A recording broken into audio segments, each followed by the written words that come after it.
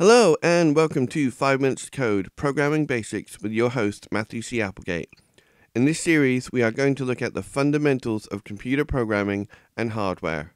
So, whether you are hoping to program in Python, to code in C Sharp, or to develop in Java, these short guides should help you get to grips with the basics.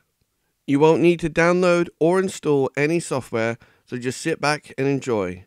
Today, we are going to look at trace tables. So let's look at this in more detail.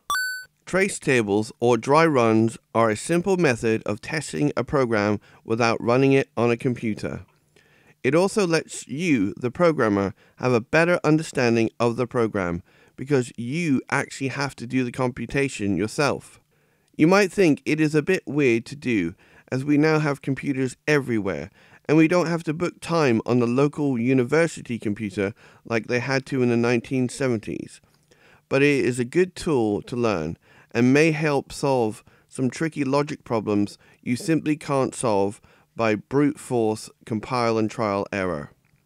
Let's start with a nice short example before we move on to a bigger one.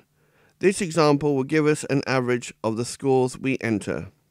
Normally, you would have all the code written for the program already, so you know what variables are going to be used this will also make drawing of the table easier.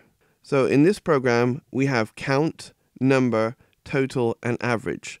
So the first thing we are going to do is set them all to zero. Zero, zero, zero, zero.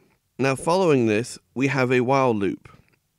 While count is less than 3, input a number, then add that number to the total, and add 1 to count. Okay, so first of all, let's pick a number to enter. Let's pick 2. Let's put 2 in the next row down of the table in the number column. We then add total, which is 0, to total, which gives us 0, and then we add the 2 from the number variable. So now let's put 2 in the total column. We now have to add count, which is 0, to count, which gives us 0, and add 1 to it, so count is now 1. So let's put a 1 in that column. Okay, that is the end of the first of three times around the loop. The second time around the loop, let's enter the number 3. So we add that to the total, which gives us 5, and we add 1 to count.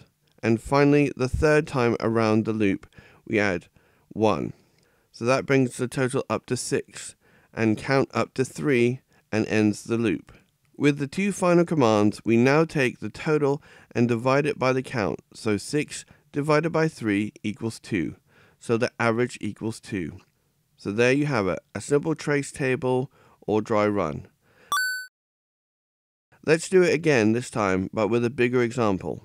This time, we are going to have two teams with three scores each, an average for Team 1, Team 2, and an overall average. So let's start by setting all the variables to zero. Now, just like the last program, we have a while loop. First, add the first Team 1 score as 4, and then add that to the Team 1 total, so that now equals 4.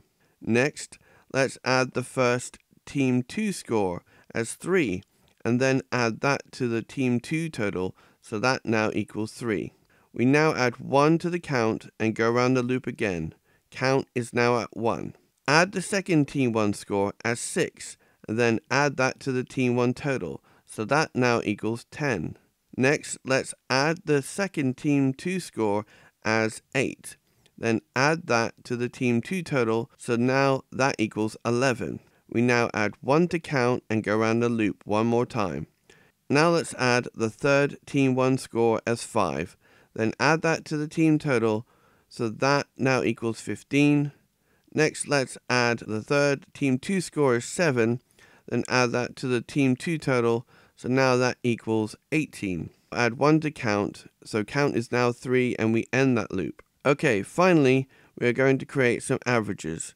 Team 1 average equals team total divided by count.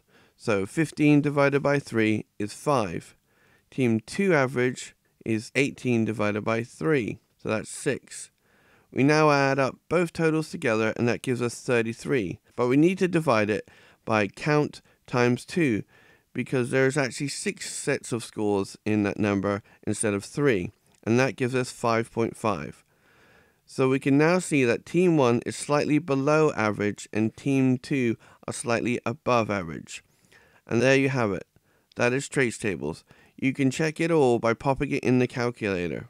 I hope you have enjoyed the video. If you have, be sure to subscribe to my channel, like the video and comment below if you found it useful. If you want to get started in programming right away, be sure to check out my computer art programming tutorials here. Until next time, thanks for watching 5 Minutes to Code.